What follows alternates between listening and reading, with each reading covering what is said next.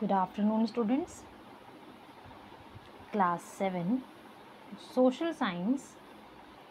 In this video, we will discuss about chapter number 2 of your geography structure of the earth. This is the second part of this chapter. In this video, we will study about the brief introduction according to your chapter about the structure of the earth and the overview of the chapter. Let's start the topic.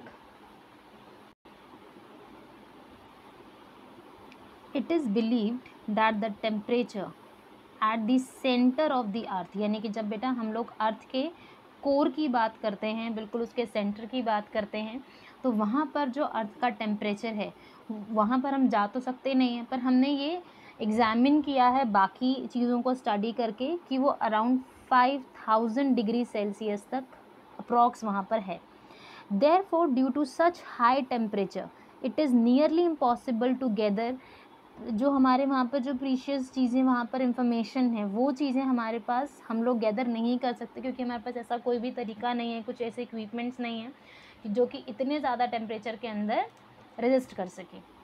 Hence the basis of our information on the earth structure यानी कि जो अर्थ का structure है, उसके interior part का और जो हमें बाकी माइनिंग करके या बाकी अदर एक्टिविटीज़ के बाद जो हमारे पास इंफॉर्मेशन आया है एविडेंसेस आए हैं, उसके बेसिस पे हमने कुछ ब्रीफ इंफॉर्मेशन हमने निकाली है अर्थ के कोर के बारे में अर्थ के इंटरनल पार्ट्स के बारे में। तो वो हम चीज़ें आगे चैप्टर में स्टडी करेंगे।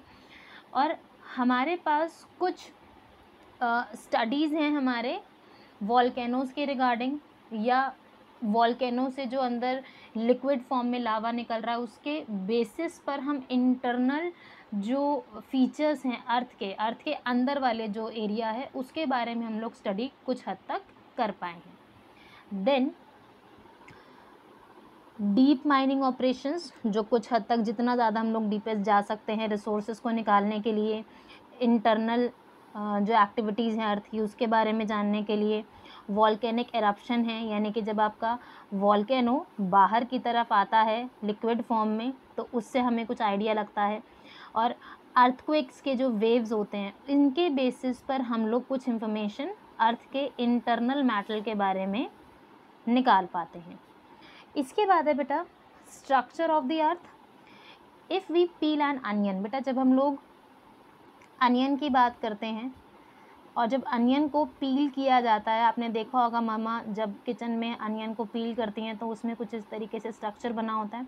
तो जिस तरीके से आप अनियन को जब पील करते हो और या उसे जब कट करके देख रहे हैं तो उसका ना अलग अलग लेयर्स अलग अलग होती हैं। तो सेम उसी तरीके से बेटा अर्थ की भी कुछ लेयर्स हैं जो कि इस तरीके से अलग होती हैं।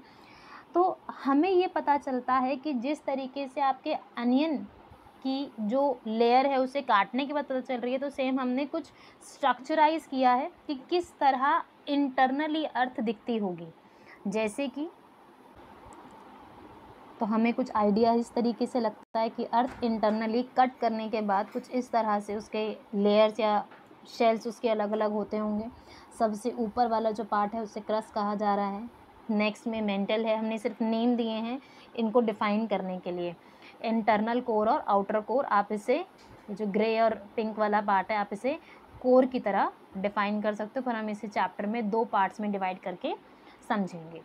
तो our earth is made up of three layers crust mantle and core तो विच इज़ वेरी इंपॉर्टेंट और नेक्स्ट वीडियो में से बेटा हम लोग क्या करेंगे? हर एक पार्ट को क्रस्ट मेंटल कोर इनको हम डिटेल में स्टडी करेंगे।